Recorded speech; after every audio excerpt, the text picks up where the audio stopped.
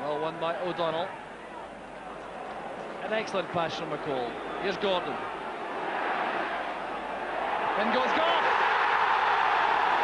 2 0 to Rangers. It looked so simple in the end. So Rangers hitting there with two goals inside three minutes. And that changes the whole complexion of the match.